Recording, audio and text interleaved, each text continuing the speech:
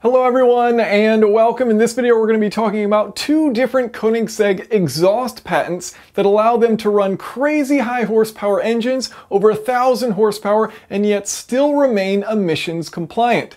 Now a big thank you to SimpliSafe for sponsoring this video. We'll get more into that at the end of the video, but know that there is a link to check out in the video description. Now, in order to understand these Koenigsegg patents, there's a bit of a logic train that we need to take. So we're going to start at the very beginning and then work our way through. So the whole idea of an exhaust system, that exhaust pipe from your engine, is that you need to get those spent exhaust gases from your engine and out and away from the car so that you can bring in new air, new fuel, and continue to make good power. Well, the problem is this exhaust has some bad gases in it, some harmful emissions that aren't good for our health. But humans are very clever. We're not going to let that stop us. We want to have some fun with some cars.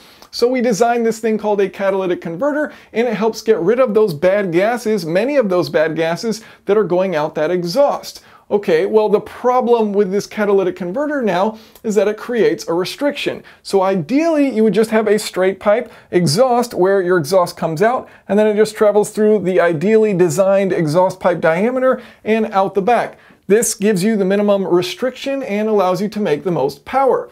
Unfortunately, that is not emissions legal, so it's not going to help out with those bad gases that the exhaust is creating.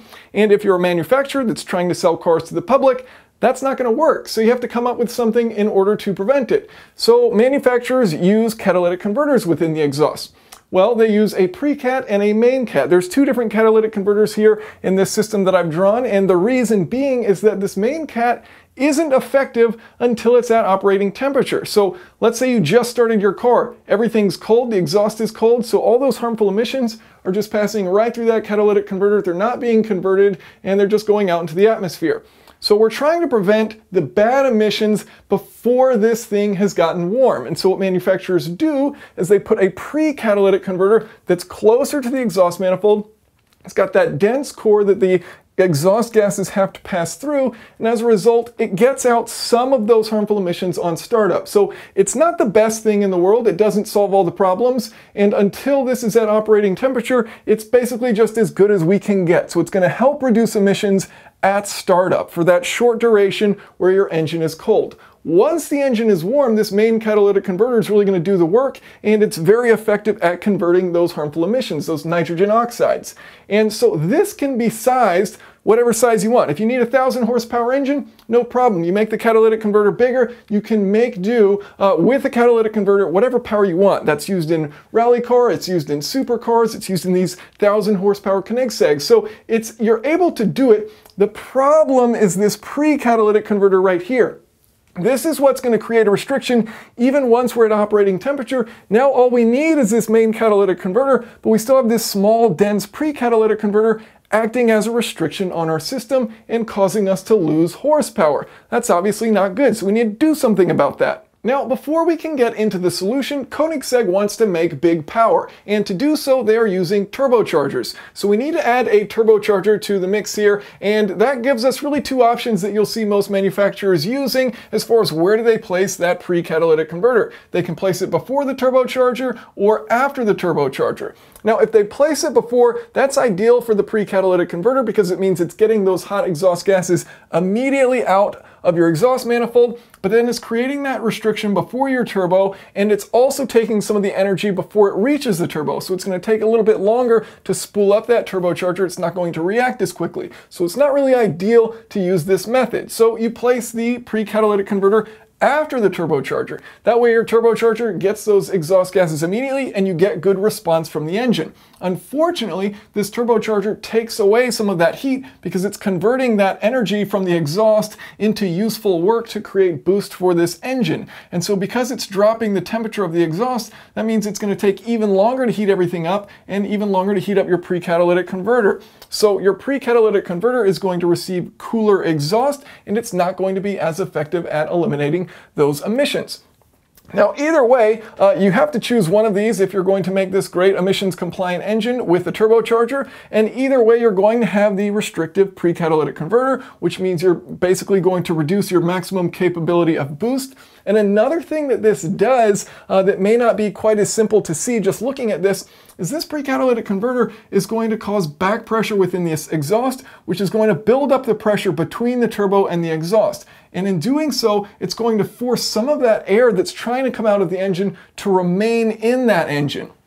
Because that hot exhaust remains in the engine, it's going to increase the cylinder temperatures. You're going to have hot EGR, uh, which isn't good, so you can't use those gases for combustion, and they're heating up that cylinder, so you're going to have more likelihood for running into engine knock. As a result, you get less boost, and as a result, you have to pull timing, and you make way less power. So the sad thing about putting the pre-catalytic converter in either of these locations is you're ultimately going to lose power. So how does Koenigsegg get around this?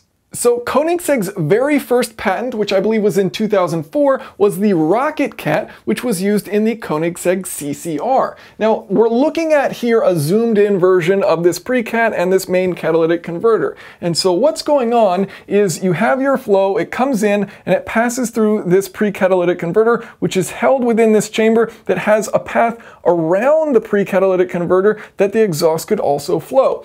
Now at low flow, your flow is always going to take the path of least resistance. So at low flow, it's just going to simply go in here. This isn't all that restrictive because you don't have all that much exhaust flowing in, and it's how this design forces the air to flow. So it comes in this pre-catalytic converter, travels out, and then travels through the main catalytic converter. So you get the benefits of that pre-catalytic converter at low flow. Now when you're at very high flow, when you step on the gas and you want to make full horsepower, well there are other alternatives for the exhaust to go through this. So instead of being forced to all only go through that precat, some of that exhaust gas will also go out and around the precat and then to the main catalytic converter. So you open up the amount of space that that has, the exhaust has to flow around this pre-catalytic converter, and in doing so you reduce the restriction, it just takes that path of least resistance, and you're able to make more power. Now the beautiful thing about this system and their first patent is that there's absolutely no moving parts to it. It's extremely simple, it's always going to work, it just passes through, it's a static system that you don't have to worry about things kind of falling apart or moving parts rubbing against each other and wearing out. You just have that flow go through it, and then off you go. And Koenigsegg says they're able to get over 100 horsepower increase uh, by using this system versus using a system like this that is very restrictive. Now, it's not this system that's creating horsepower. It's the fact that you're reducing a restriction. So this is taking away horsepower. This is allowing you to keep the horsepower that you are making. So finally we get to a 2011 patent of Koenigsegg's used on the Agera RS. And so this engine is producing 1160 horsepower, crazy high power levels. Obviously you need an exhaust that is not that restrictive. And so the very clever thing they did with this exhaust system is they incorporated bypass valves. And so your exhaust comes out and when you first start your car and you know you're not making all that much power, your engine's cold so you don't want to run it hard yet, uh, while you're first starting up that car, then the the exhaust is going to be closed off from the turbocharger and instead forced to route a different direction through the pre-catalytic converter bypassing the turbocharger and then through the main catalytic converter. Now you might be wondering, well, wait a minute, what if I want power from the get-go? Well, first of all, you shouldn't be driving your car really hard until the engine's warmed up. So I think the system is very clever in that it's only going to be really used when you are your engine is cold and you shouldn't be driving hard anyways. Second, I'm sure if you were to floor it because for some reason you just had to have 1100 horsepower in that moment, they'll close this off and they'll allow that exhaust gas to be routed through the turbocharger. So there's a logic built into it to incorporate the scenario that you're driving in. So once the engine is warm and you no longer need to heat up uh, this main catalytic converter to get it functioning, you close off this pre-catalytic converter and all of your exhaust then passes through your turbocharger and then through the main catalytic converter, which is sized appropriately for this engine. So you no longer have to worry about that initial problem we discussed of having a pre-catalytic converter that is always creating restriction on your entire exhaust system. Here, it's only there at the very beginning when your engine is cold cold, and then once things are warmed up, you bypass it completely. The main catalytic converter does its job and helps convert those harmful emissions, and you size it appropriately for the system so you can make those crazy high horsepower numbers. Now, Koenigsegg claims this frees up over 300 horsepower for this engine, which is absolutely nuts. And another very cool thing about this exhaust is that they claim, at least when this came out, that they were the only high-powered turbocharged engine where the exhaust pressure was actually lower than the intake pressure as a result of incorporating this system. So they said that, for example, if you were to have 1.5 bar of pressure in your intake manifold, they would have about 1.3 bar of pressure less than the intake manifold in the exhaust manifold.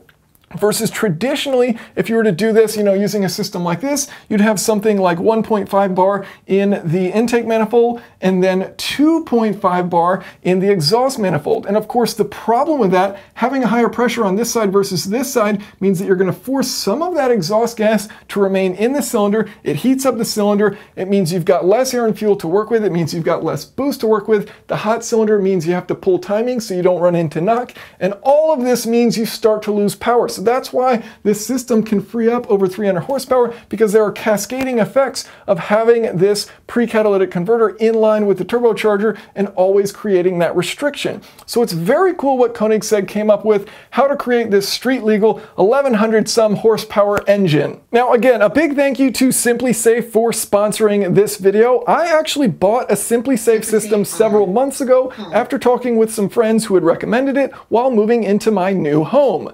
The system is super easy to use and install. I probably spent about 30 minutes getting the entire system operating. Having the ability to check on my phone at any time that my house isn't on fire, that the front door and the garage door are both closed, that there's no water leaking in my basement, that the temperature isn't near freezing in my house so I don't have to worry about pipes bursting, it all helps with peace of mind. Everything is professionally monitored 24-7. It even works in the case of a power outage, and there's no contract to get locked into with fair monthly pricing. I also love the doorbell camera, which allows me to see when packages arrive and also records any motion. So if someone were to try and steal my packages, I would get a video of that. There are all kinds of different sensors, as I've already touched on, and others including glass breaking sensors or motion sensors that are pet friendly and allow you to adjust the sensitivity. You can check out SimpliSafe using the link in my video description. If you have any questions or comments, of course feel free to leave those below. Thanks for watching.